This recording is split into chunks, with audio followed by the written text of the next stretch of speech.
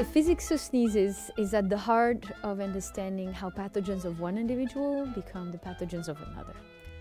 So without that step of transportation of the pathogens from one host to the other, there is no epidemic, there is no disease transmission. And it turned out that we don't actually understand much about that physics. So the work that we do is combining fluid mechanics to problems that are relevant in health and epidemiology to understand better how pathogens are transmitted. I started being interested in sneezes when uh, I finished a piece of work on influenza transmission.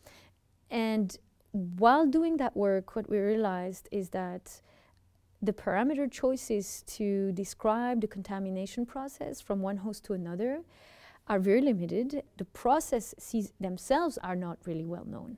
And so when you're sitting, you know, in, in the head, for example, of, of a hospital like MGH or, or else, and, uh, and trying to figure out, okay, we have right now an epidemic that is ongoing. What kind of measures should I ask my sta staff to take? They are guessing right now. You're in the lab right now, which is a BL2 lab, so biosafety level 2. So I'll take you all around. We're in the middle of a move, so a little cluttered. This is basically the microbiology corner. Here in this area, it's a lot of work uh, that entails looking at fragmentation and breakup from more fundamental level. And these are the type of cameras that uh, we used for characterizing ex violent expirations, coughs, sneezes. This particular one is basically uh, a camera that allows us to go to about a million frame per second. And the reason why we need these very high frame rates because these events happen very quickly. So we tried all sorts of approaches to try to trigger the sneezes. Some included you know, light sensitivity, pepper, various additives. But I really wanted to achieve a natural sneeze. And so ultimately, the method that ended up being reproducible at all times was nose tickling. And so nose tickling is the universal method. Sneezes are actually really interesting. They're multi-phase, turbulent clouds. Uh, so there's all sorts of scales also involved. But at the same time, it's a complex flow because you have a gaseous phase that is coupled with droplets and eventually the final residue of these drops, which could be you know, solid residues containing the pathogens.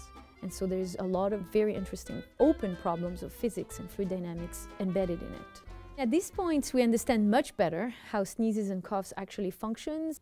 The overall dynamic of contamination, so the second part of the story outward from, from the patient, is right now something that we understand quite well. The only aspects that we still are working on is to refine the question of how is that affecting the actual fate of the pathogens ultimately. From the other side of the story, which is going backward in the host, there's still a lot of open questions, uh, but we're planning to uh, look at them once we go to phase two of the work, bringing in human subjects that are both infected and healthy, because we start then to also look at the differences in the physiology and uh, the, the lung capacity in health and infection and how all of that can modulate what we already saw in terms of emissions outside of the mouth.